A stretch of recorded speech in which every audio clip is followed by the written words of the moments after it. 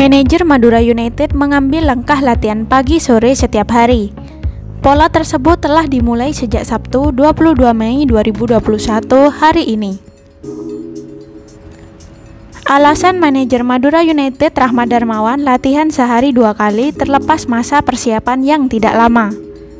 Melihat dari rencanaan Liga 1 2021 bergulir pada 3 Juli 2021, praktis menyisahkan 42 hari latihan atau tidak sampai sebulan setengah.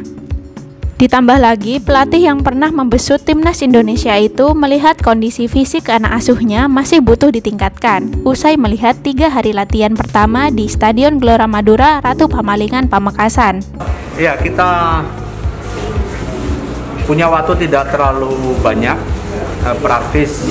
Kalau saya hitung masa persiapan kita hanya ada 40 hari ya.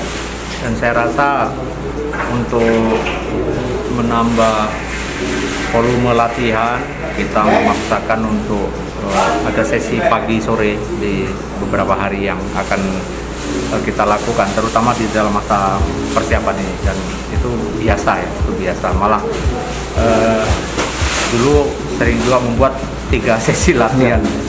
Jadi buat saya ini hal yang wajar dan memang sebuah keharusan. Oke. Okay. Yang pasti memang mengalami penurunan ya kalau dilihat dari bagaimana kita biasa melakukan latihan yang serupa dengan volume yang sama tapi intensitas eh, hari ini fluktuatif harusnya mereka ada di level intensitas tinggi tapi hari ini karena memang kondisi belum stabil terlihat ada dari menit tertentu menit tertentu mereka ada penurunan nah, tapi ini wajar karena ini proses untuk terus uh, menuju beban latihan yang lebih berat lagi nah, uh, secara keseluruhan bisa ditutupi dengan semangat motivasi pemain.